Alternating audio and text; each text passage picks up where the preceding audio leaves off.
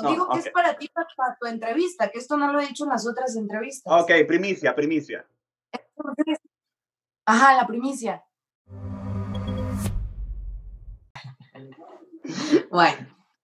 Eh, ¿Cómo surgió ser actriz? ¿Fue una decisión, una casualidad? Esa, esa pregunta es muy dura porque todavía no la he dicho. Nadie sabe cómo surgió, cómo quise ser actriz. Fíjate que yo era conductora y locutora y estaba trabajando en Nexa. Entonces me tocó entrevistar a un grupo en el concierto de EXA, miles de actores, de cantantes y de artistas en lo que estamos ahí en el concierto, y me enamoré de uno. Entonces, o sea, te enamoraste por una entrevista. Yo lo vi fue de... O sea, París está cerca. Ajá, entonces.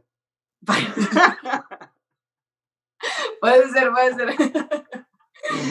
Entonces, me enamoré y lo peor de todo es que... ¿De un actor o de un cantante? Disculpa.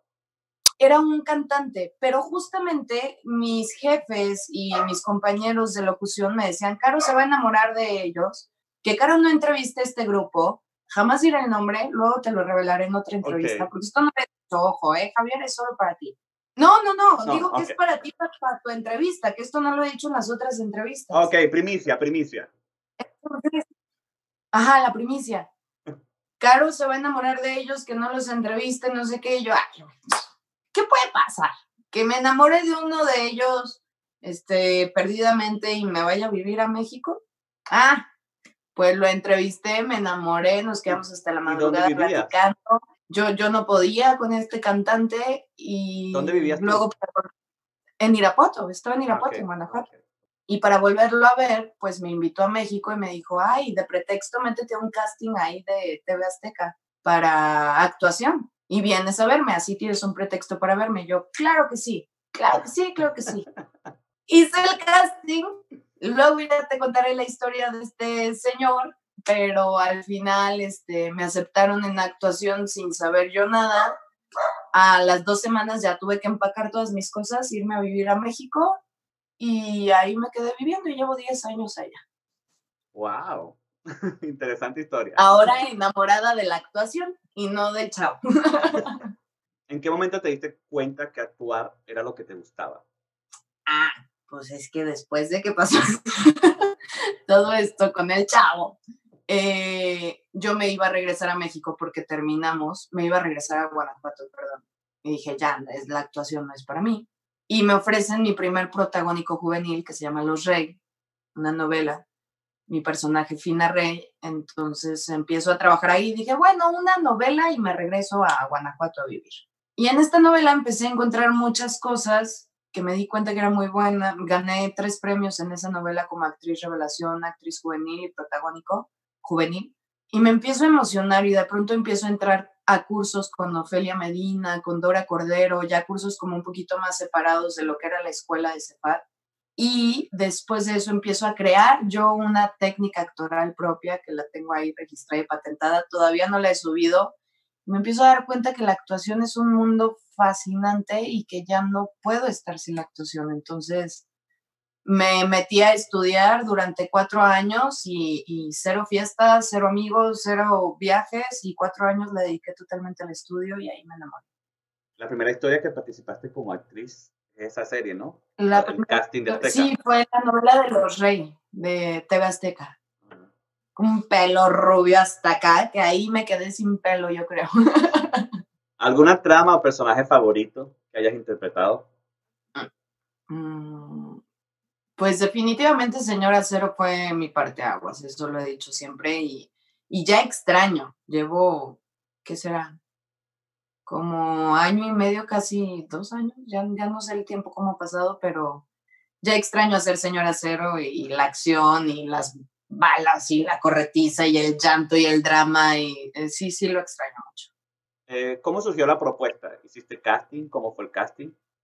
Sí, yo estaba justamente haciendo el press junket de la serie de Claramente. Estaba arreglada que si con extensiones, su pestaña, su vestido y pues todo lo que las actrices usamos en el press junket. Y me hablaron y me dijeron, Caro, hay un casting muy importante para Netflix, por favor ve, es uno de los personajes este, principales, es quizás la protagónica, no sé qué, la verdad.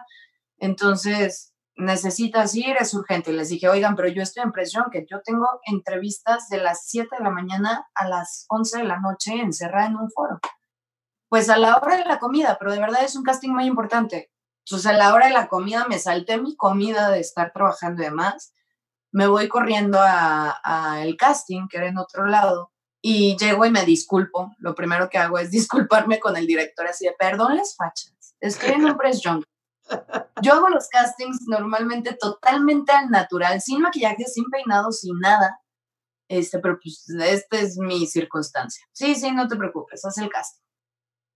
Hice el casting y no supe más. Y me fui a Cancún con unas amigas a vacacionar un ratito. Y justo regresando de Cancún en el aeropuerto a las dos semanas de hacer el casting, me hablan y me dicen, Caro, feliz Navidad, porque era en épocas de Navidad feliz Navidad, quedaste en el casting, lo que tanto querías, entrar a Netflix, no sé qué, entonces, bueno, ya. Drama en Cancún, felicidad, amigas, nos abrazamos. Tequila. Porque sí, la verdad es algo que yo buscaba mucho. Me habían ofrecido muchos proyectos anteriores mm. y no los quise tomar y sabía la línea que quería seguir. ¿Cómo te preparaste para este personaje?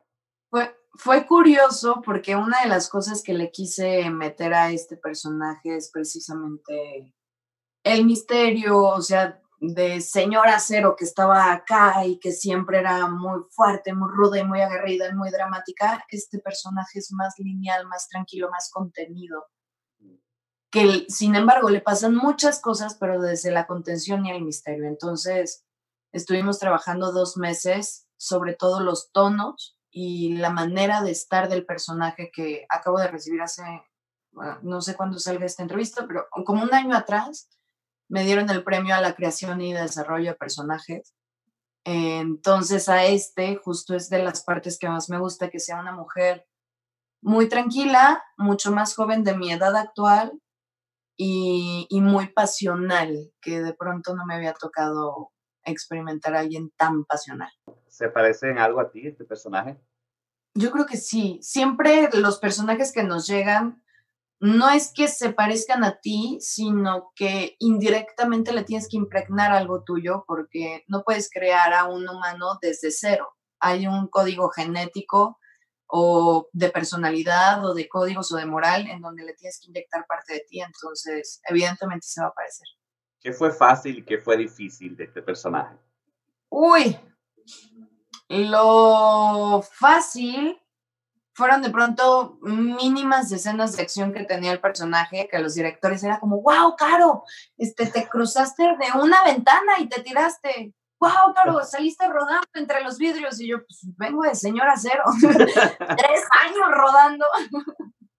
Eso fue lo fácil, las, las escenas de acción que me encantan. Eh, y lo difícil definitivamente fueron los desnudos que salen, este, están, están duros. Están duros, sí, están duros. Nunca lo había hecho. Se habló, es, tremenda producción, me sentí totalmente en confianza con todos. Pero sí, e, esa, esa parte, pues, como actriz, es, es un poquito complicado. ¿Qué le dirías a tu personaje si lo tuvieses enfrente?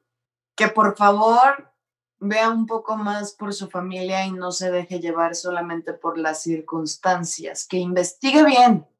Eso. ¿Tienes alguna anécdota grabando esta, esta producción? Pues la verdad es que todo ha sido muy positivo y muy bien y muy ordenado, entonces no nos ha pasado, bueno, la anécdota es definitivamente la pandemia, mm. que entró el coronavirus y, entonces ya los, últimos, sí, ya los últimos tres días filmábamos todos con gel antibacterial y, alejándonos hasta que la producción decidió este, mandarnos todos a la casa a resguardarnos. Mm. Y pues efectivamente de pronto retomar un personaje después de meses o, días de estar en la pandemia ahí encerrados, pues es un poco complicado porque ya tienes un ritmo. Claro. Pero al final sé que sale. Ya dejamos de hablar de esa producción y ahora hablamos sobre actuación. ¿Cuál crees que hasta ahora ha sido tu mayor logro como actriz? Mi mayor logro como actriz no quiero ponerlo en un personaje o en un proyecto, creo que mi, mi mayor logro como actriz ha sido la mm, teoría que saqué sobre cómo crear emociones a través de las respiraciones, que yo la tengo. Eh, normalmente existen dos teorías actorales que es eh, um, la realista o la de acudir a algún recuerdo de Schopenhauer y etcétera, etcétera. Stanislavski, nunca puedo decir ese apellido. Stanislavski. Stanislavski. Ay, no puedo, coño. No importa, yo te enseño en París. Ajá. Ah, bueno, pues crear esta teoría de, de, actuación que es totalmente diferente y es literal una tabla matemática que yo estudié con neurocirujanos y con doctores para ver cómo funcionaba el cerebro, el diafragma y no empezar a generar emociones a partir del dolor del actor, sino solo con respirar, generar las emociones primarias para que el actor no se sienta como frustrado o, o cansado de pronto emocionalmente. Creo que eso es un gran logro como actriz. ¿Cuál crees que es el mayor desafío de tu profesión hoy en día? Definitivamente he pasado por demandas, he pasado por días de filmación, he pasado por hospitales de agotamiento, he pasado por miles de cosas que a, veces la gente no se entera como actrices o actores lo que pasamos. Pero siempre el mayor desafío al final va a ser estar lejos de mi familia, siempre. Y y el hecho de tú estar encerrada en set 24/7 y estar grabando y filmando y si no en entrevistas en otros países y demás, pues la vida pasa y, tus papás y tu hermano empiezan a crecer y sus vidas pasan también y tú no estás ahí compartiendo estas vidas, entonces eso siempre va a ser el mayor desafío. No te pongas a llorar. No, o sea, a punto estoy. Este, cuando, tenía, cuando tienes descansos en, los, en las filmaciones, ¿qué haces? Sé que no has tenido mucho porque has sido protagonista muchas veces, entonces no tienes descanso, ¿verdad? No, pero es que me pongo muy mal. O sea, de verdad, a, mí no me dejen descansar porque ya valió madre. La caro ténganla trabajando, por favor. Pues hago puras tonterías en el poco tiempo de descanso que tengo. Como no me gusta descansar, de dormir o acostarme porque se me baja la energía, eh, normalmente tiendo a brincar en los campers, a estar de arriba para abajo, a molestar a actores que sé que sí descansan y les tocan los campers y me voy corriendo y se enojan mucho. O me pongo en el camper de maquillaje a bailar con todos los de maquillaje y a cantar y a reírnos. Normalmente estoy como hiperactividando. Paseando. Paseando. Eh, ya para terminar, ¿qué consejo le darías a esos eh, personas que quieren ser actor o actriz como tú? Pues que la gente que quiera hacer lo que sea, que sea actor, abogado, ginecólogo, que siempre se enfoquen en eso, que sea su, su mayor sueño, que siempre estén como tratando de disfrutarlo, eh, que le dediquen toda la energía a eso. Si tú tienes una meta, si tú sabes algo que quieres hacer en esta vida, dedícale toda la energía y ofrecerle algo nuevo y distinto al mundo, porque ya somos muchos actores, muchas actrices, ¿qué es lo que tú le vas a dar de nuevo a esta carrera para que con eso puedas sobresalir y apasionarte, apasionarte 100% con lo que haces.